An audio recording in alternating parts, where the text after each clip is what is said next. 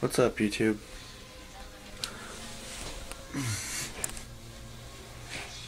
Okay, so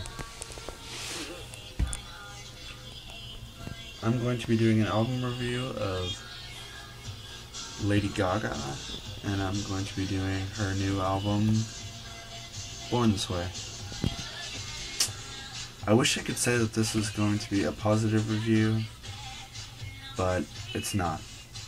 Because I don't like this album. Like, at all.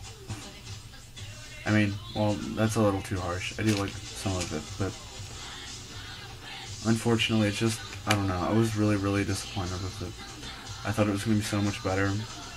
I mean, she made it out to be like it was going to be amazing, but I mean, then again, she always has a way of, you know, overstating a lot of what she says. So I should be, I shouldn't be surprised. But I don't know. I just felt like the album was really rushed sounding and like there wasn't a whole lot of thought put into it.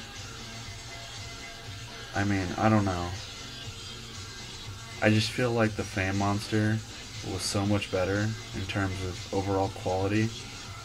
Like to me, in this situation, the term quanti- quality over quantity really applies, or yeah, quality over quantity, um, because yeah, the Fame Monster only has eight songs, but all eight of those songs are amazing.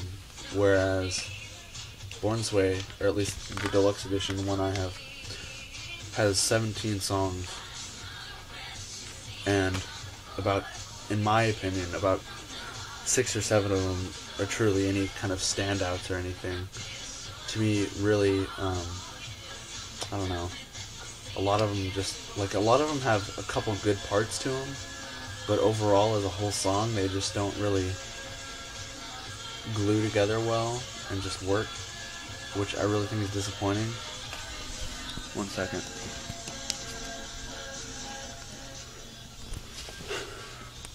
Just because I had such high expectations and I thought this album was gonna kick ass, but I don't know. I'm kind of repeating myself. But I don't know. I'm just really hoping that her fourth album is really good or better at least, and shorter. So, I don't know. But, and another thing that really bugs me is I don't like how people say the Fame Monster isn't a full length album. Because, I mean, in my opinion, it really is. Because, I mean, yeah, it only has eight songs, but back in the 80s, you know, eight songs was a full album, you know. Uh, Madonna's first record only has eight songs uh, Thriller only has like eight or nine songs. That's a full album, you know. I don't get it. It just really bugs me. It's called an EP, you know, an extent. It's not an EP. An EP typically has uh, four to five songs. That's typically what an EP is. And it really bugs me that I don't know. It's not considered a whole album when, in my opinion, that's definitely her best work she's ever done you know, as far as an album goes. So, I'm just hoping her next album's good, and I don't know.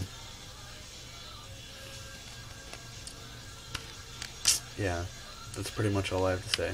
I still love Lady Gaga, but I mean, it's. Ooh. I was really, really disappointed with Born This Way. So. Thanks for watching.